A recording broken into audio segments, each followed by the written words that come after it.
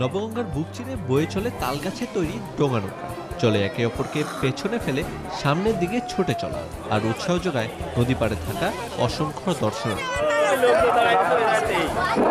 এমনই এক প্রতিযোগিতা অনুষ্ঠিত হয় ঝিনাইদহ শহরের নবগঙ্গা নদীতে, যেখানে অংশ নেয় সদর উপজেলার বিভিন্ন এলাকার বাইশটি নৌকা। এর আয়োজক ধোপাঘাটা গোবিন্দপুর মৎস্যজীবী সমবায় সমিতি।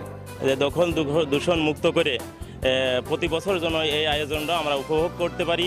এই খেলা আগে কখনো দেখিনি আমি সাথে এখানে এসেছি খুব ভালো লাগছে। গ্রামের যে ঐতিহ্যটা যে ডুঙ্গা বাইস এটা আসলে সবাই ফিরে পাবে এবং সবাই আনন্দিত হবে। এই নবগঙ্গা নদীতে ডুঙাবাজ দিয়ে বা আমু নিজে অংশগ্রহণ করছি এতে আমি খুব আনন্দিত। আয়োজকরা বলছেন কর্মব্যস্ততার মাঝেও মৎস্যজীবীদের আনন্দ দিতেই এমন আয়োজন।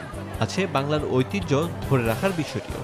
গ্রাম বাংলার এই ঐতিহ্য ধরে রাখার জন্য এবং মৎস্যজীবীদের একটু আনন্দ দেওয়ার জন্যই এই আয়োজনটা।